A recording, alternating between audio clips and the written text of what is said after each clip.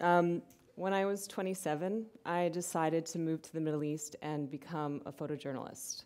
I hadn't started out with a career in photography in mind. In fact, I got my degree in applied engineering.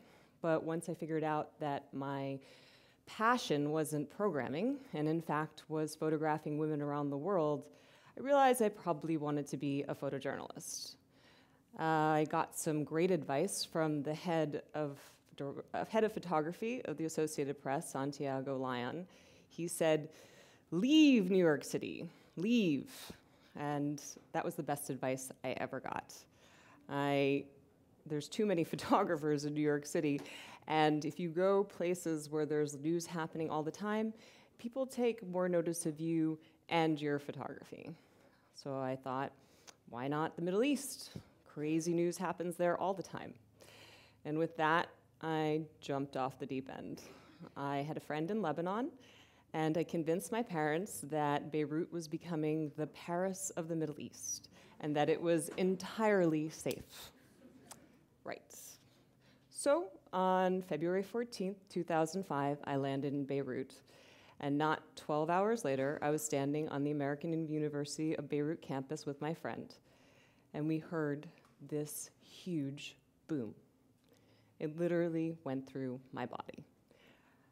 I had no experience with things like this, but I had just been told that sometimes the Israelis like to buzz over Lebanon and break the sound barrier. So I turned to my friend and I said, Was that a sonic boom?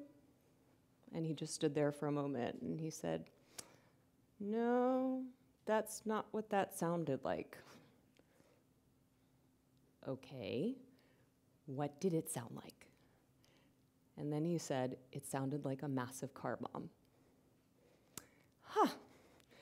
Well, it was one of those moments where you realize, wow, I moved here to do this, and now I have to decide which way to run towards the massive explosion or away from it. And so we ran towards it. Turns out that blast killed the ex prime minister of Lebanon, Rafiq Hariri. It was a decisive moment in my life, if not the country's. And once we got there, I realized something very quickly. I was capable of staying calm in the midst of that chaos. My pictures weren't great, and I had no idea how to find editors, but I felt like I could work in that situation. I was completely green, and it was truly trial by fire. Now, having lived in the Middle East for over eight years and worked for places like the New York Times, the Associated Press, and Reuters, I feel like I have a little bit more of understanding about how to deal with those situations. First and foremost, don't freak out. Okay, figured that one out pretty quickly. But this might surprise people. That's not the hardest part.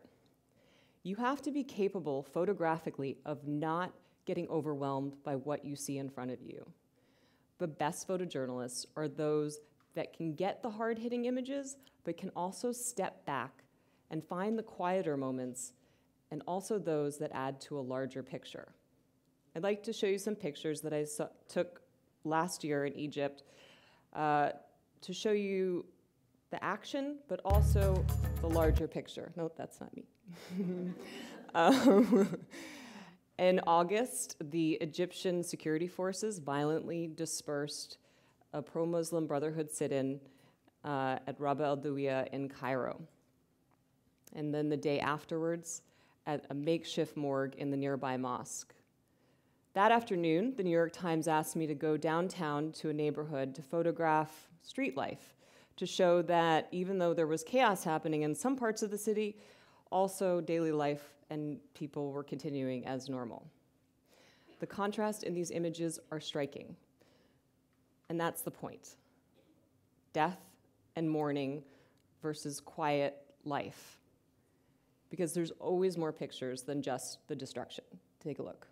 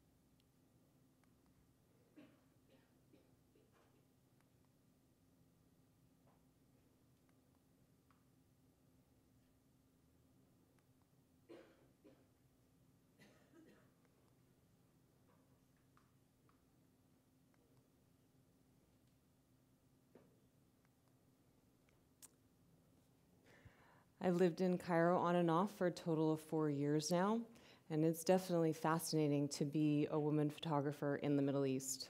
I think something most people aren't aware of is there are a lot of women rock star journalists and photographers in the region. They are super strong, don't take crap from anyone, and do some of the best reporting I've ever seen. But I think when people hear about the harassment issues in places like Egypt, they just assume that female journalists don't go there. And that's just not true. Uh, I think being a woman actually opens up a lot of doors, especially in traditional societies.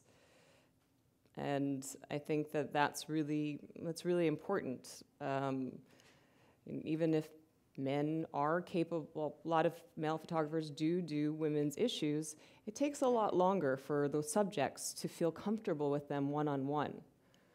A small example of this is protests. I have photographed a lot of protests, and I find that women demonstrators tend to stay in tight packs, and that male photographers, if they want to photograph them, hang on the edges because they don't want to invade their personal space.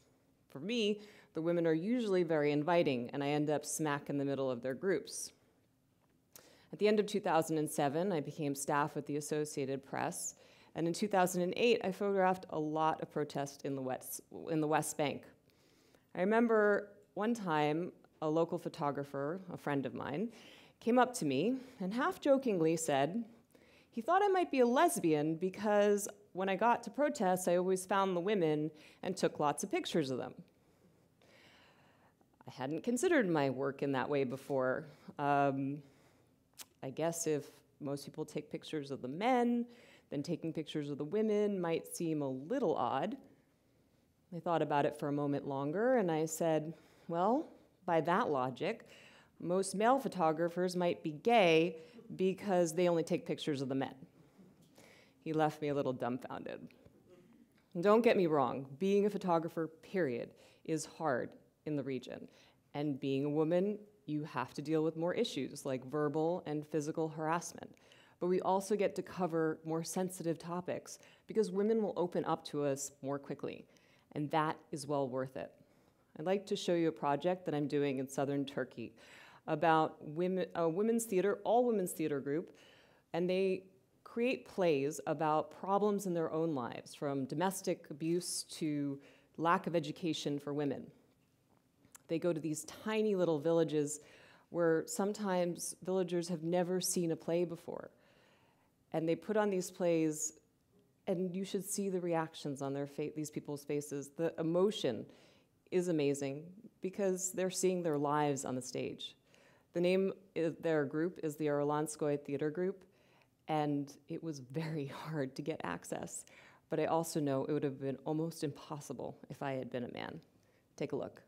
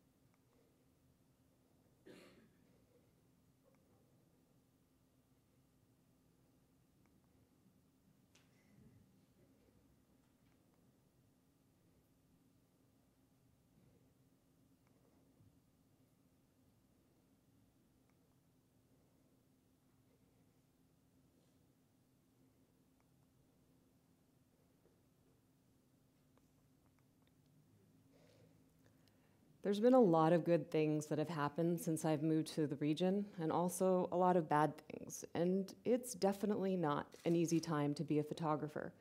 You have to be a jack of all trades, from photo, radio, video, and editing.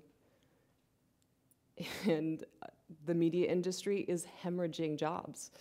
Unfortunately, some of the first people to go are usually the photographers because people assume, wrongly, that anyone with a camera can take a good photo. Thank you, Instagram.